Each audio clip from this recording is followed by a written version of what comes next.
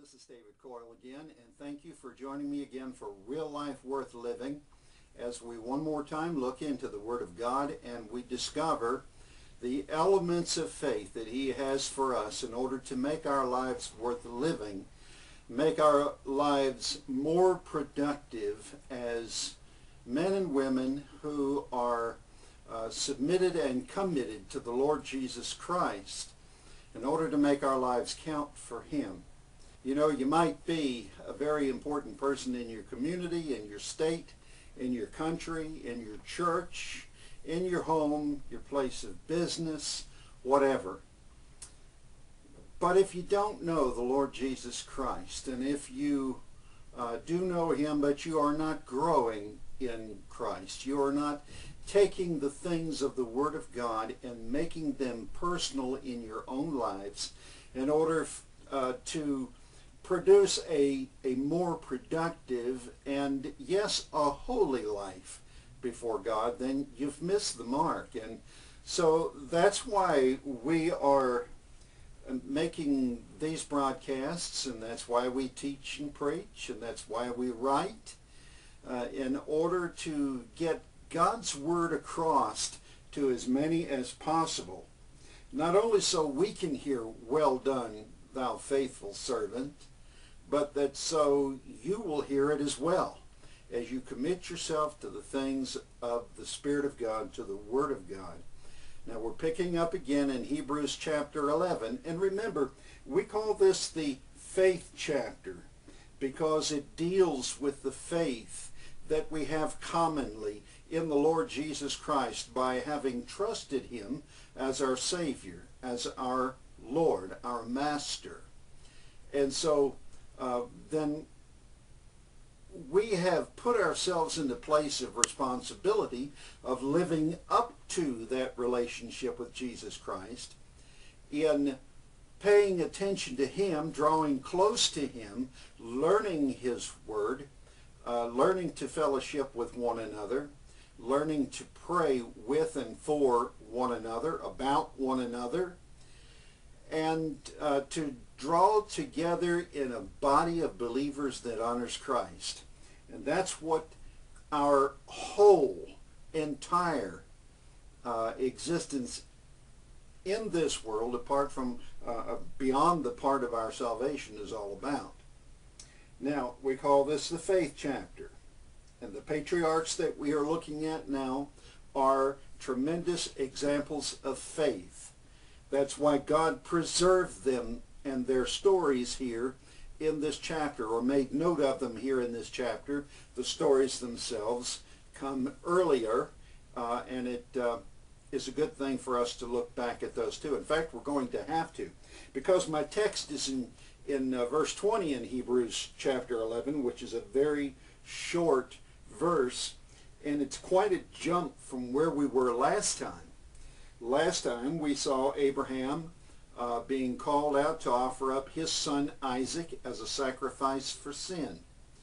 At which time, because of his willingness to obey God, because of his follow-through, because he and Isaac went to the place where uh, the sacrifice should be made, and because he followed through with all of the elements of sacrifice firmly believing that God would provide him an animal sacrifice in the place of his son, but if he didn't, that God would raise him again from the dead. And so we, the last time we saw Isaac, he was a beautiful picture of the death, the burial, the resurrection of the Lord Jesus Christ as Abraham received him back uh, from the altar of sacrifice, his living son, in order that uh, uh, he could go on and live out the rest of his life then and be a continued example of faith for us.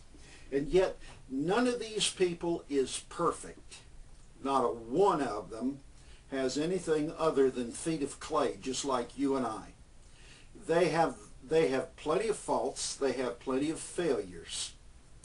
Uh, there are times when they are not reliable. There were times when they lied. There were times when they failed God. There were times when they failed one another. There were times when they didn't pass every specific test that, that God gave them to pass in order to grow their faith. They fell back too. They shrank away from faith too. And yet, through God's prolonged dealing with them, through his continual opportunities, by giving them various trials and tests, then they were able to make up for their failures with greater successes. And that's the same way we operate today. Whenever we fail, whenever we fall, whenever we back away from something that God wants us to do, uh, whenever we shrink away from what we know to be the will of God in our life, then when God brings that to our attention, and he will, uh, in no unmistakable, uh, no, uh, uh, no way that you can possibly miss it, God will, will poke your conscience with his spirit in order for you to, to know what kind of a failure that you have committed.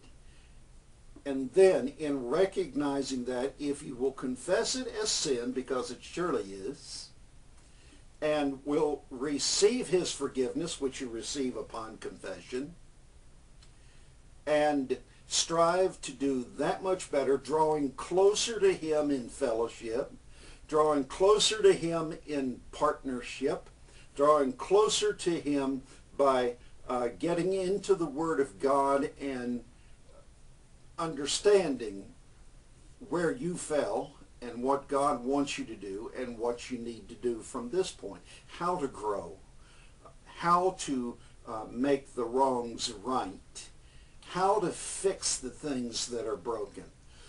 All of these are, are elements that you and I need to know, but they only come from our constant fellowship in and with the Spirit of God, the constant fellowship with the Father, constantly looking unto Jesus, who is the author and finisher of our faith, our faith life. He is the one who makes our faith worth living, our life worth living. He's the one who makes it real life. And real life is what he called us to.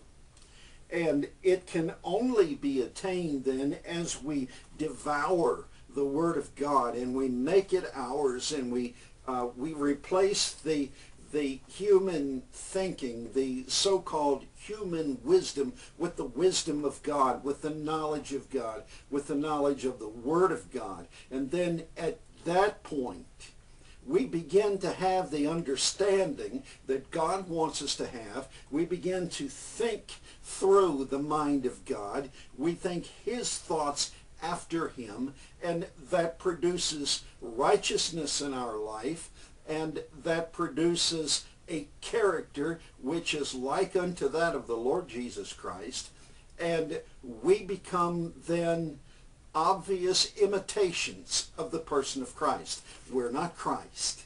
We're not God. But we become godly. We become Christ-like. And we are obviously then the followers of the Lord Jesus Christ. We are obviously followers of the Word of God. And so uh, I want to get into our text and from there go back to the book of Genesis. Now, in order to get from Hebrews 11:19 to Hebrews 11:20, we've got to look at about four chapters in the book of Genesis in order to fill in the blanks, and it behooves us to fill in those blanks so that we know exactly what went into uh, the lives of these people between the steps that are marked out for us as extreme examples of faith to be copied, to be emulated. And so that's exactly what we're going to do. As I said before, the last time we saw Isaac in our study, he was probably in his mid-teens and he had exchanged places with a ram. For God had provided a lamb in order to take the place of Isaac uh, so that Abraham would have the proper sacrifice to offer And Isaac then would be alive to be able to carry on and to carry out his calling as a patriarch in society, as a minister of God, as a righteous soul on the earth, as an example of faith not only to his own generations, but to all of us who look to his example as we read about it in the Word of God, as we study it, and as we take those elements to heart. Pushing away the things that he did wrong and adopting the things that he got right. And God uh, very clearly points those out to us so that we can delineate which, which is which and what they are and uh, help us in our understanding. Hebrews chapter 11, verse 20. By faith Isaac blessed Jacob and Esau concerning things to come. Now, as you can see, that's not a very lengthy passage, and it doesn't fill in a whole lot uh, of Isaac's life between his teenage years and the years here where he is blessing Jacob and Esau and sending them on their ways in order for them to start their own families and uh, to become patriarchs in their own right. And certainly they are. Abraham and Sarah at this point have advanced quite a bit in age. Not only did Isaac get older, he's become a, a middle-aged man or older. And so Abraham and Sarah have also advanced in age. And back over here in the book of Genesis in chapter 23, uh, we come to the end of the life of Sarah, the wife of Abraham, the one that God blessed by giving her a son of her own, she who was barren from the beginning, and God gave her the fruit of her womb, which was Isaac, whom she named Isaac, laughter, because God told her to. In verses 1 through 6, and we discover here that Sarah is approximately now 127 years of age. Since we know there is about 10 years worth of difference between Abraham and Sarah, he is approximately 137 years of age. And Sarah was an hundred and seven and twenty years old. These were the years of the life of Sarah. And Sarah died in Kirja Arba. The same is Hebron in the land of Canaan. And Abraham came to mourn for Sarah and to weep for her. And Abraham stood up from before his dead and spake unto the sons of Heth, saying, I am a stranger and a sojourner with you. Give me a possession, a burying place with you, that I may bury my dead out of my sight. And the children of Heth answered Abraham, saying unto him, Hear us, my Lord. Thou art a mighty prince among us. In the choice of our sepulchres bury thy dead. None of us shall withhold from thee his sepulchre, but that thou mayest bury thy dead. Now you see the tremendous respect that Abraham had earned among his neighbors, among his countrymen. And they had so much respect for him that they offered him one of their sepulchres. They said they would withhold nothing uh, for a burial place for Sarah.